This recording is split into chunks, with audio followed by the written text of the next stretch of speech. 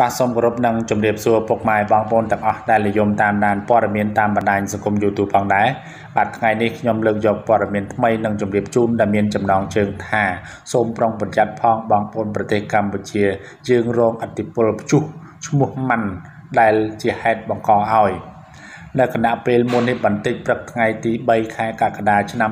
2019នេះយោងតាមគេហទំព័រ Facebook Page ក្រសួងទុនធានទឹកនិងអូតូនិយមបានចេញសេចក្តីជូនដំណឹងស្តីពីស្ថានភាពអាកាសធាតុដែលនឹងមានបាតុភូតកើតឡើងអស់នៅអស់រយៈពេលប៉ុន្មានថ្ងៃនេះដោយមានខ្លឹមសារទាំងស្រុងដូចខាងក្រោមនេះវិសសម្ពាធទៀបដែលមានកំណើនដល់ភៀកខាងកើតកោះហៃណាន់បាន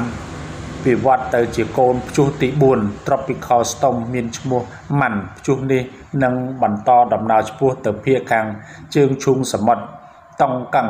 មុននឹងថមថយអតិពលជាសម្ពាធទៅវិញ នៅពេលឡើងគោកនិងខាងត្បូងប្រទេសចិននៅវេលា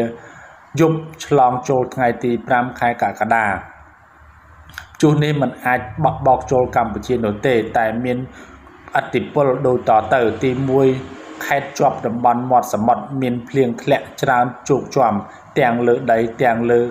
សមុទ្រដោយលបឿនខ្យល់ខ្លាំងនិងរលកសមុទ្រធំទី2ខេត្តនៅតំបន់ខ្ពង់រាបឯសានភាគខាងកើតជាប់ប្រទេសវៀតណាមមានភ្លៀងបន្តធ្លាក់ជាច្រើន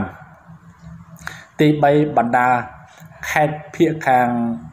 ភាគកណ្ដាលខាងជើងនិងពាយ័ព្យមានភ្លៀង ពីតិចទៅបង្គួរអាស្រ័យដោយបានជម្រាបខាងលើហេតុនេះសូមសាធារណជនជ្រាបជាព័ត៌មាននិងបន្តការប្រុងប្រយ័ត្នខ្ពស់ជៀសវាងនៅបណ្ដាបាតុភូតករន្ទះនិងខ្យល់កន្ត្រាក់អវិជ្ជមានដូចជាជម្រាបជូនដូចខាងលើនេះបាទឥឡូវនេះបាទខ្យល់ភ្លៀងខ្លះយ៉ាងខ្លាំងបាទនៅប្រទេសចិននិងបក់បក់អាចនៅប្រទេស វៀតណាមទៀតផងដែរហើយនឹងប្រទេសកម្ពុជាយើងនឹងទទួលការ